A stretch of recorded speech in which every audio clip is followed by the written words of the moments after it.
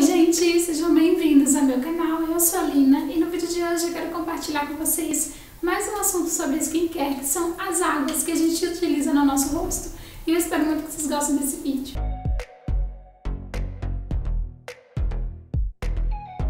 Então, gente, antes de eu começar a compartilhar esse vídeo com vocês, eu vou pedir para você se inscrever no canal aí embaixo, nesse botão vermelhinho aí, inscreva-se no canal e deixa seu gostei também para mim e comenta aqui abaixo o que, você está achando desse vídeo, a sua experiência com skincare também, tá bom? Então, gente, no mercado nós temos inúmeras, uma diversidade grande, grande demais sobre de águas de beleza, né? Águas que a gente usa no nosso rosto. Água micelar, água termal, água da beleza, a própria água da beleza, que aqui a gente mais conhece, que é aquela da Caudalie, mas existem várias, várias águas no mercado com várias formulações.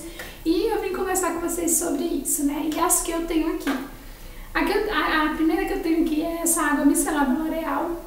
Essa água micelar da L'Oreal também é água micelar em si, tem vários tipos, também tem pele oleosa, tem bifásica, tem de todos os tipos. E aqui eu tenho aqui essa daqui que eu gosto demais dela, que é a água micelar, aquela, aquela primeira que eles têm, né, a, a tradicional. A segunda água que eu tenho aqui, gente, é essa água floral da Elemento Mineral, que é uma aguinha que é muito boa para equilibrar o pH da pele, dar uma tonificada na pele também. E a terceira água que eu tenho aqui é essa água termativa, que é a água do Agostinho, Agostinho Fernandes, que é aquele maquiador super famoso.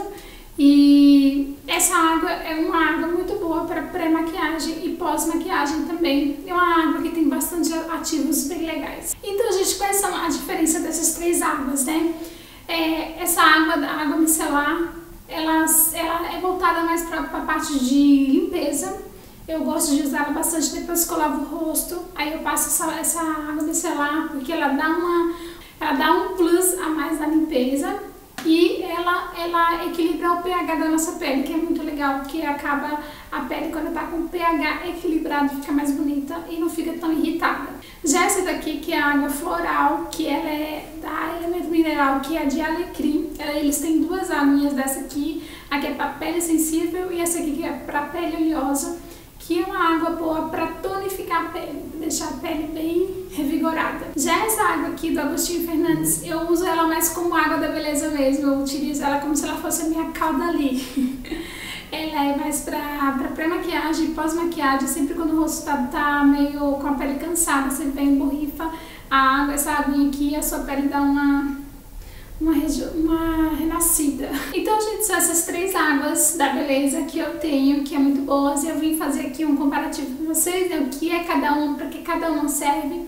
Eu espero muito que vocês tenham gostado desse vídeo. Comenta aqui abaixo qual, qual, qual a água da beleza que vocês têm, que vocês mais gostam, que vocês mais usam. E comenta aqui a experiência de vocês também, tá bom? E eu vou ficando por aqui com esse vídeo rapidinho de skincare. Eu espero muito de coração que vocês tenham gostado. Fiquem todos com Deus. Um grande beijo e até o próximo vídeo. Tchau, tchau.